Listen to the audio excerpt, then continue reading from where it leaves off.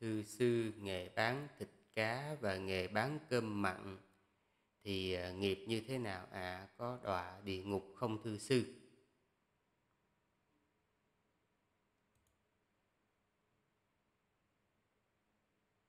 Chờ. À, thưa quý vị, cái tiêu chuẩn à, để à, chúng ta chọn một cái nghề à, cho nó đúng với chánh pháp đó là bản thân cái nghề đó, đó nó không có xâm phạm đến cái lợi ích à, của chúng sanh khác. Ví dụ như xâm phạm đến tài sản sức khỏe tánh mạng của chúng sanh khác. Thì mình nên tránh. Cái nghề mà bán à, thịt sống ừ, thì bản thân đó được à, liệt kê vào trong cái nghề tà mạng nhưng mà còn cái à, nghề mà bây giờ quý vị nói là quý vị nấu ăn ừ, à, nấu ăn mà quý vị à, buôn bán à, thực phẩm như vậy đó thì nó có phải là tà mạng hay không? Thì um, nhiều vị á, à, nhiều vị trưởng lão thì nói là thịt thì bao gồm dù cả sống lẫn chín à, thì nó vẫn là tà mạng à, tuy nhiên thì sư có một cái sự gợi ý nó có thể giúp cho quý vị à, giảm thiểu rất là nhiều những cái nguy cơ đó là gì? À, đó là mình à, mua những cái thịt À, nhập khẩu à, nhập khẩu đông lạnh thì à, tại sao sư lại nói như vậy? Tại vì khi mà mình mua cái thịt nhập khẩu đông lạnh thì à, nó không có sự hứa hẹn. Mà khi mình mua thì thường là cái à, cái đó nó đã giết mổ trước đó à, có khi cả tháng trời rồi. Ừ. thì như vậy thì cái con vật đó đó nó không vì mình mà chết. Tức là mình không thấy không nghe không nghi thì khi mình mua về nó là tam tịnh nhục. Thì như vậy mình chế biến mình à, rồi mình làm à, cơm à, hoặc là mình làm một cái món ăn gì đó mình bán thì nó sẽ lành hơn. À, còn cái này là cá nhân của sư suy nghĩ nha. Sở dĩ mà cái à, bán thịt sống mà nó là um, cái nghiệp uh, tà mạng đó là do khi mà mình bán như vậy thì nó sẽ à, có một cái mối liên hệ trực tiếp. Ví dụ như à, mình hẹn với cái lò mổ là ngày hôm nay à, tôi lấy 10 kg, 20 kg, 50 kg thì chính bởi vì cái sự dặn dò trước như thế thì người ta sẽ giết cái con đó vì mục đích là cung cấp thịt cho mình. À, thì nó sẽ rơi vào ừ, vì mình mà chết. À, rồi theo một cái vấn đề nữa của cái việc bán thịt sống đó là thời xưa nha đó là nó có cái mối tức là mình à, một làm ăn một thời gian dài thì thế nào họ cũng ờ, cũng biết là à, rồi à, tức là ngày hôm nay thì sẽ để một phần cho người này 10 20 kg 50 kg như vậy. Thì à, chính bởi vì như vậy thì sẽ có một con vật nào đó vì mình mà nó chết. Ừ, còn bây giờ thì sư có lời đề nghị á, quý vị mua thịt nhập khẩu thì nó đã chết trước đó cả tháng trời rồi thì à, như vậy nó sẽ cái nhân sư nha cái nhân sư thì sư cho rằng nó không ảnh hưởng. À, còn không biết là với đại đức tuệ tường thì có cái nhìn như thế nào về à, cái à, vấn đề này? Để chờ tí xíu. Để, đại đức chờ tí xíu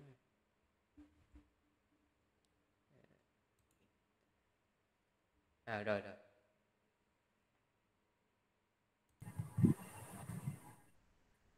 Dạ rồi đó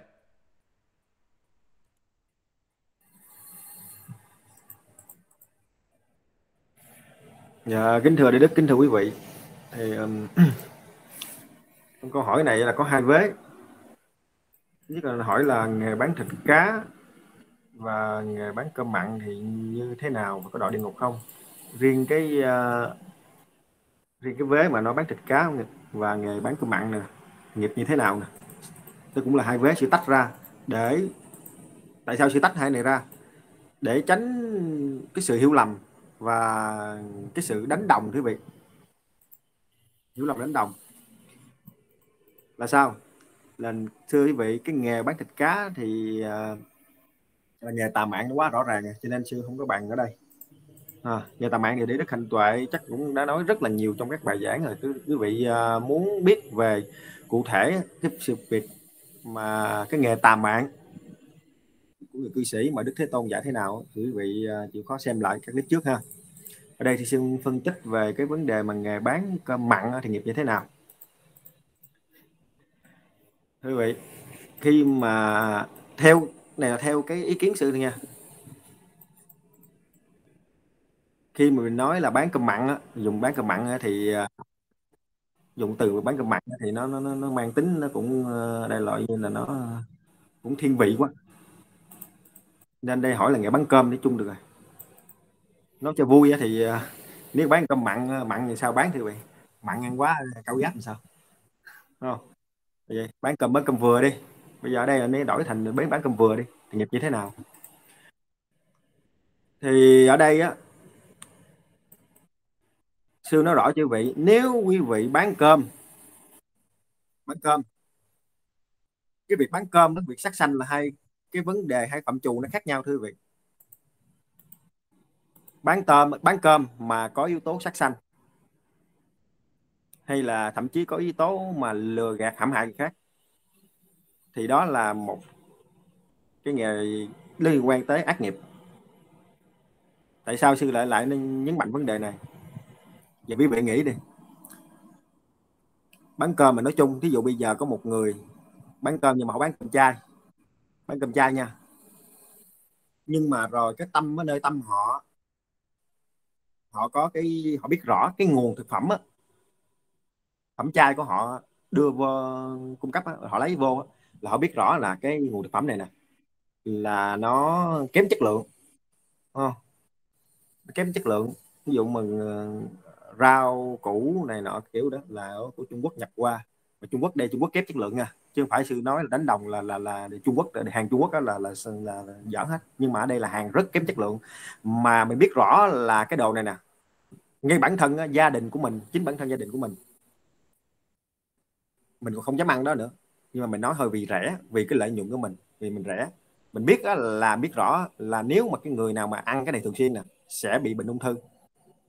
À, thậm chí bị bị suy gan suy thận đó nhưng mà mình vẫn bán mình bán thôi kệ mình nói thôi kệ miễn rẻ thôi miễn rẻ bán cơm chai rẻ thôi không? còn cái chuyện không ăn là chuyện chuyện của họ thì quý vị tự suy nghĩ đi cũng bán bán bán cơm mà gọi là bán, bán cơm, cơm chai đó thì nghiệp như thế nào à.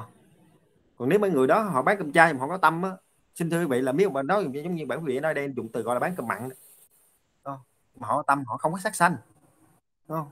thứ nhất họ không sắc sanh này nha chưa nhấn mạnh là họ không có sắc xanh thứ hai là họ lựa chọn nguồn thực phẩm chất lượng và hợp theo lẽ đạo. Họ bán họ đặt cái đặt cái tâm vô họ bán mong muốn cho khách hàng à, thuận mua vừa bán. Đem những khi mà dùng thực phẩm mình đó, là họ là có cái đem lại cái dinh dưỡng. Thì bây giờ quý vị suy nghĩ hai trường hợp đó đi. Một người bán cơm chai mà lấy cái nguồn thực phẩm kém chất lượng không tan ta ăn vô bị suy gan suy thận bị ung thư. Và một người kia bị mang tiếng là nó bán nó bán cơm mặn nhưng mà thực sự bản chất người đó là không có sắc xanh đúng không? Không xanh và cũng không có ý hại khác luôn chọn nguồn thực phẩm tốt để bán cho khách hàng để xứng đáng đồng tiền. Như vậy. Thì quý vị tự trả lời để coi cái cái nào là, là, là tốt hơn không? thì cái nghiệp nào tốt hơn không? cho nên là ở đây á một lần sư nhắc một, một lần nữa sư nhắc lại. Là khi mình ở đây á, cái vế này là mình nói là nghề bán cơm đi bán cơm thôi. Thì nghiệp như thế nào là được rồi. Chứ uh, mình uh, thêm chứ mặn vô thì nó, nó hơi kỳ thị quá. Thật sự là mà ăn mặn ăn mặn đâu ăn được quý vị. Ăn mặn ăn quá ăn ca bị cao huyết áp đó. đâu tốt đâu. À. còn cái việc mà đỏ địa ngục hay không thì đã sư đã phân tích rõ quý vị rồi. Nếu mà người nào thường xuyên cũng bán cơm nhưng mà người nào đó người nào mà làm cái tâm bất thiện. Đó, có liên quan đến sát sanh có liên quan đến trọng cấp có liên quan đến tham ác. Mà làm thường xuyên như vậy tới cuối đời thì đương nhiên là là, là đọa vô bốn cuộc cảnh là thiên nhiên rồi. Còn người mà làm có tâm thì làm sao mà thuận mua vừa bán? Thì làm sao mà họ có thể đổi địa ngục thứ vậy? Cho nên cái câu này là quan trọng nhất là quý vị bản tự tự bản thân quý vị phải ý thức được trả lời cho cái câu này. Là cũng xin kết thúc phần trả lời câu hỏi này.